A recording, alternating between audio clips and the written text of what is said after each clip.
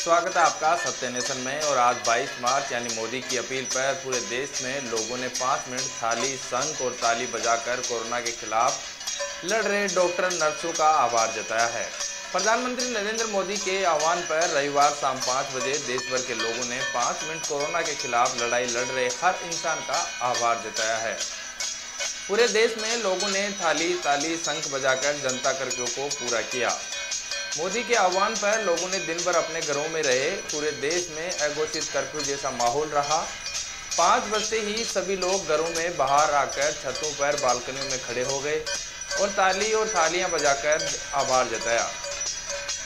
जनता curfew के दौरान श्रीनगर और बेंगलुरु जैसे शहरों में हालात वैसे ही देखे गए, जैसे कर्फ्यू लगने पर होते हैं।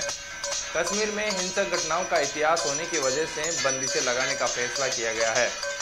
वहीं बेंगलोर पुलिस ने बेवजह घर से बाहर निकलने पर कार्रवाई करने की चेतावनी दी है। हालाँकि दिल्ली पुलिस ने कहा है कि हम किसी तरीके की सख्ती नहीं बरतेंगे, न ही कोई जुर्माना लगाएँगे।